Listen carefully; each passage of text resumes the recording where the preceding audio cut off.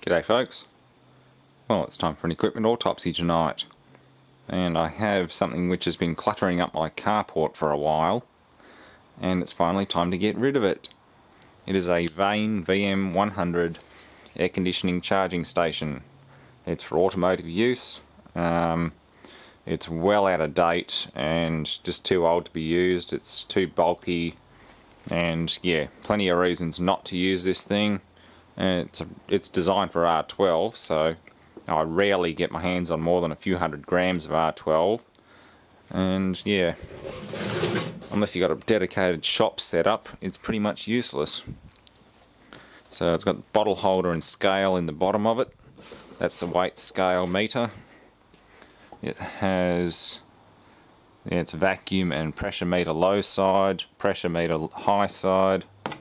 That's all there so yeah it's a bit rough but it will uh, work quite well. I hope, well, should be interesting autopsy anyway. Hopefully these work though. There's attachment points in there for the uh, gauge set, all that sort of good stuff. So, I think I better turn it around and we'll get into the back of it. Okay, so there's the vacuum pump. Kind of looks like a fridge compressor.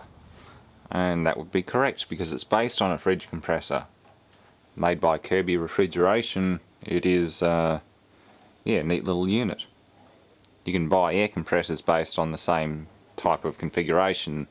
The top and bottom shells were never welded and they were made in such a way well really there wasn't much difference but apart from the inlet and outlet fittings and you can use them as a silent air compressor. So that's definitely a keeper as long as it isn't burnt out or damaged. There's an oil trapper thing. That's a discharge line which goes out the bottom for the exhaust. Intake which is nicely kinked and cracked so vacuum would not have been working to begin with. Hmm. Random dome nut floating around in there. Lots of nice fittings inside. yeah, charging hose going down to the scale where the bottle would normally sit. That's all nicely cracked and dead. Definitely not using you again. Maybe for a vacuum gauge or something, that's about it. Which is a perished. Vacuum, oh, charging hoses are only like $50 a set, so that's not a big deal. Now that's all the scales. Yeah, I should just plug this thing in and see what it does. We'll see if we can trip some circuit breakers. There's a control board of some sort there. And a main terminal strip. Okay, let's see what it does. Hmm.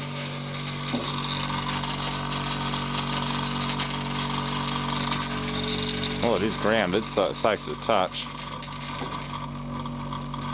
Most of that noise is just crap rattling around in there.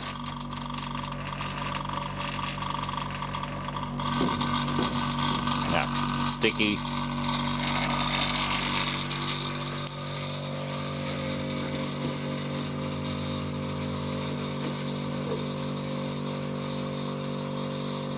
Vacuum side, not really doing anything.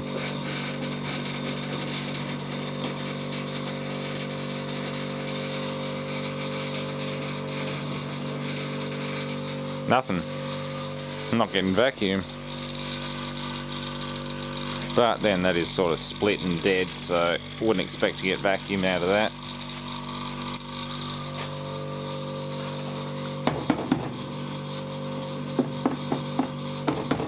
Scale is not doing anything, it's over the clock.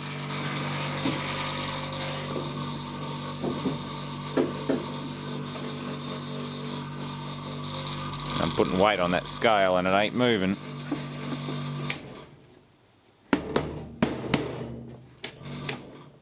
No, scale's dead. Okay, I'm not going to be salvaging the scale then. Looks like the coil's blown up anyway. That's alright, I'll just rip the compressor and the gauges and things out and that'll be the end of it.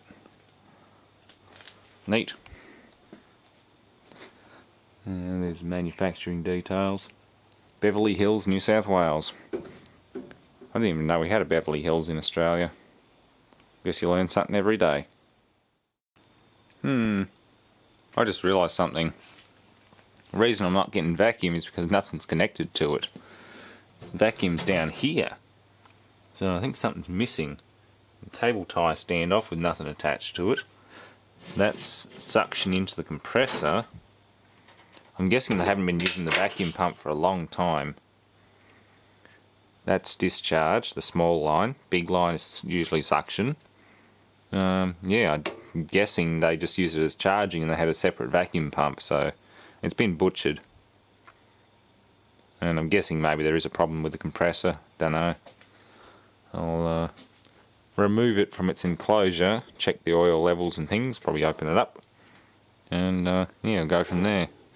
But for now, I'm just going to cut some of these flexible lines and go from there. Funny thing is that oil line coming off the compressor goes into the main manifold too. That's interesting. Why would they do that? Unless that's the suction side. It shouldn't be though, it still goes out to the bottom of the casing. Hmm. Why you gotta be so complicated? Doesn't matter. I'm gonna rip it to bits anyway, it doesn't have to be that complicated. Because I can simplify it.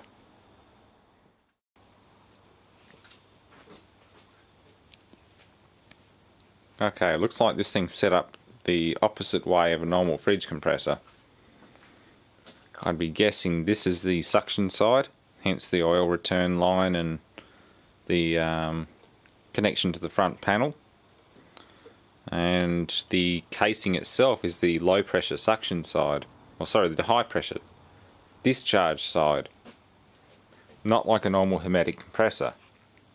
Not a fridge compressor anyway, where the inside of the casing is the um, suction side and that line there would be the discharge side but in this case it's a flexible rubber line and it's going to here and that looks like the suction side of the head inside these chambers which are normally sealed would be the uh, discharge side but in this case it's not that way so it's just discharging oil and stuff back into the crankcase hence why these things don't put oil out through the discharge line I think the reason there's oil in there is because this unit's been upside down in pretty much every way it shouldn't be. But it's all there. Connecting rod looks alright. Yeah, I think the main reason I wasn't getting vacuum was because it wasn't connected. Or at least not properly anyway. And that line isn't cracked, it's old, but it's not cracked. I'm not going to provoke it too much. But damn, this thing smells bad. It's done a lot of hours work. The head's cast alloy instead of iron and finned for cooling. Yeah, it'll work, but it'd be nasty though. Motor windings still look fresh though, they're not burnt or brown. Oh, well, that's the end of that one for now I guess. I should run the compressor though. Just can't be bothered tonight. I'll do it another night. Oh well, thanks for watching.